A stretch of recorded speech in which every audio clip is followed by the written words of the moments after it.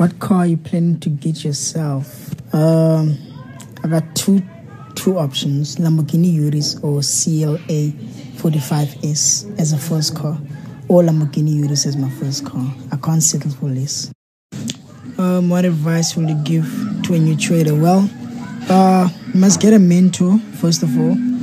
Uh, don't gamble and always trade with a trading plan. So yeah, most important um, how much did I start trading with? I think it was 400. I used to trade fundamentals and I turned that 400 into 1.8 in a few seconds. I never blew a lot of accounts because I never forced the issue. I just went straight out there and got a mentor that.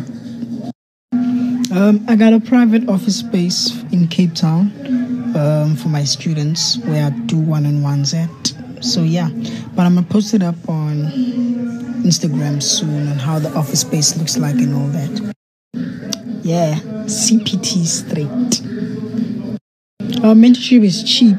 Um, it's 1.5 for the beginner's course, which is about 16 months period of me teaching you, and 2.5 for advanced course, which is about 20 something months. Uh, I don't send signals. I teach you how to make your own signals. I take my signals from my students in the group because they always send signals and lot. So I take signals there, but I sometimes do send few signals. One on one mentorship is 3.5. Yeah, 3.5. What's popping right now? Well, nothing much. I'm just preparing for a timetable for my students for the one on ones on the office space that's in, that's around waterfront. So yeah, I'm just preparing that. There's nothing much.